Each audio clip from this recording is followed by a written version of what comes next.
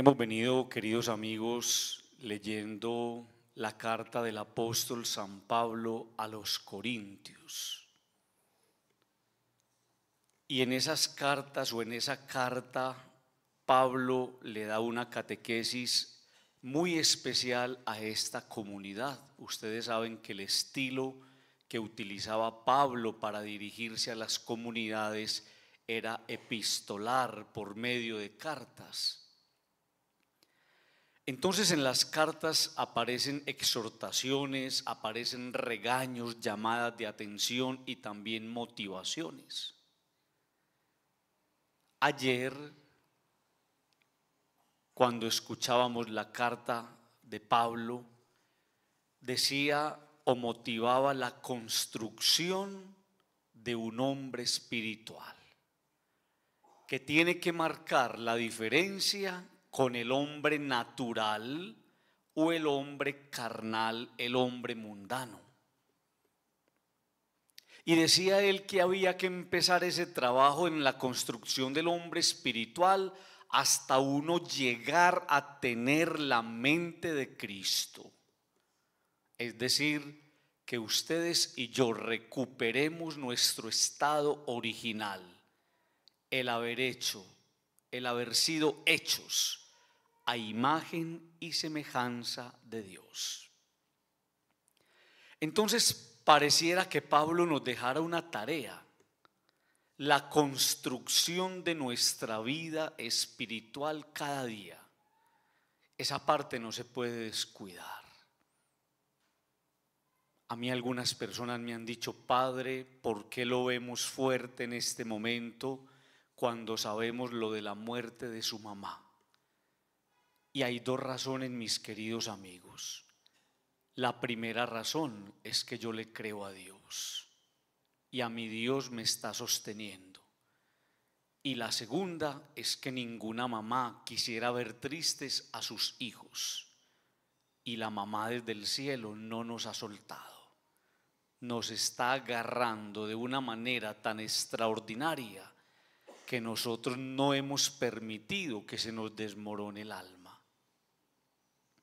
Hay que construir entonces la vida espiritual. Y esa, mis queridos amigos, es una de las razones por las cuales uno tiene que creerle a Él y agarrarse de Él. Porque como decía yo el domingo, son muchas más las cosas difíciles que te faltan y que me faltan por asumir, por enfrentar. Y si no es desde Dios, uno no es capaz.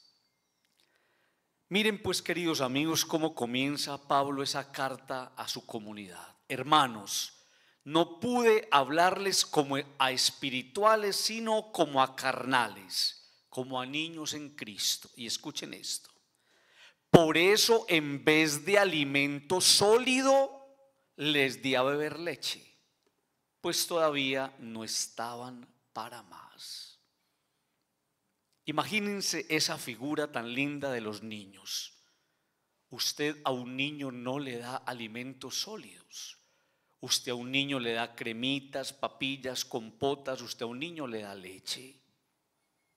Entonces pareciera que Pablo nos estuviera sugiriendo el cuidado que hay que tener en el proceso de la fe.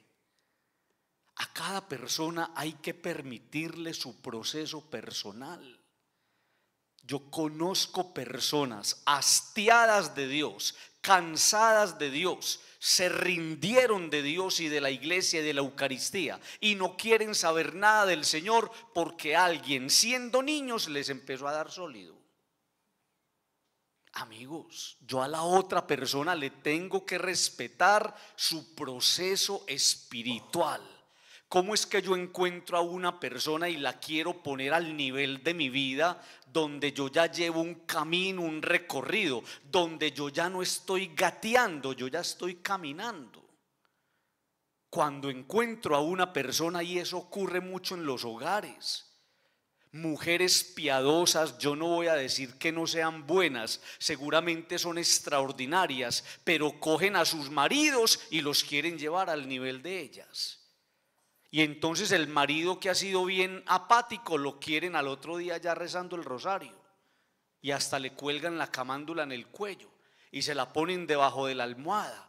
Y el esposo sale y mejor dicho lo llenan de bendiciones y le empacan hasta un escapulario. No. Entonces terminamos hastiando a la otra persona cuando a la otra persona le tenemos que dar lechita no le dé sólido todavía. Vaya despacio con la persona. Permítale a esa persona sus dudas, sus inquietudes, incluso sus vacíos espirituales. Y así es que se va construyendo, queridos amigos, la fe.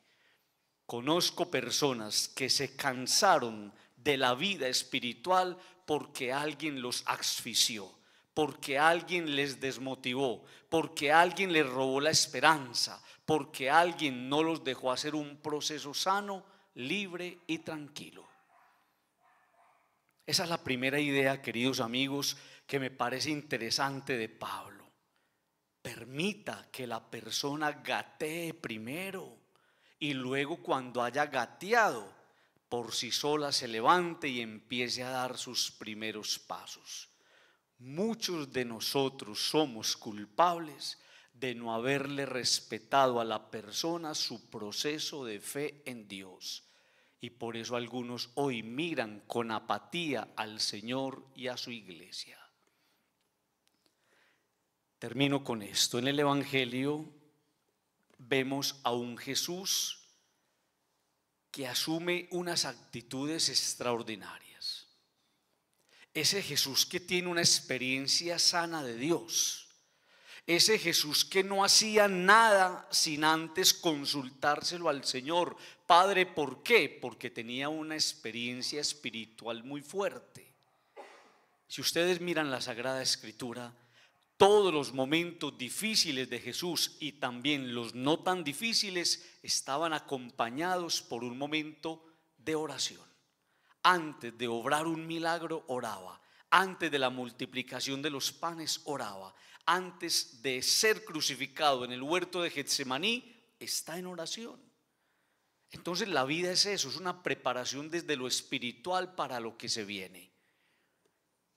Me encanta cuando el Evangelio nos dice que se acercaron a Jesús y le rogaron por ella. Amigos, tenemos que entregarle al Señor nuestras necesidades. ¿A quién más se las llevamos? Mi mamá me llamaba y me decía, mi hijo, necesito esto. Y yo, mamá, mi hijo, pero ¿a quién más le pido yo? Claro, al hijo. ¿A quién más?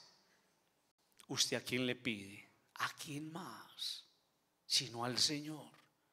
Le rogaban por ella. ¿A quién? A Él, al que tiene en sus manos el poder y el control. Segunda idea, ¿cómo se obra un milagro? Acercando tanto la persona a Dios que la persona quede metida en Dios y Dios quede sobre la persona o en la persona. Mire qué cosa tan bella. Inclinándose sobre ella. Se acercó tanto a la persona que la presencia cercana de Jesús obró el milagro. Tercero, Jesús se retiró a un lugar desierto. No olvide que la espiritualidad se fortalece mejor en la intimidad con el Señor. Ustedes y yo vivimos muy llenos de personas y a veces hace falta, falta pegarse una escapadita para estar solitos con Jesús. Digan conmigo, amén.